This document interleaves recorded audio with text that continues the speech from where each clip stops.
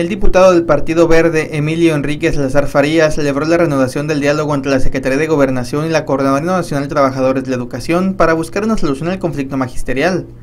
Luego de que la noche del martes el secretario de Gobernación Miguel Ángel Osorio Chong anunció que se reunió con integrantes de la coordinadora para restablecer el diálogo e intercambiar documentos con sus respectivas propuestas, además de pactar otro encuentro para el lunes 11 de julio.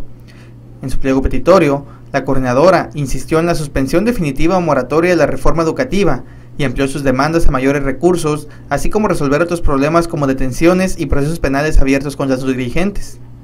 Al respecto, rechazó la posibilidad de abrogar totalmente la reforma educativa y dijo que lo que debe hacerse es mostrar que la reforma no es punitiva y que verdaderamente busca la calidad de la educación.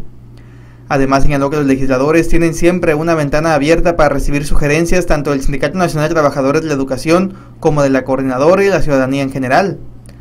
Finalmente exhortó al magisterio disidente a que permita el libre tránsito en todas las carreteras, pues ya han afectado demasiado a la sociedad y a la economía.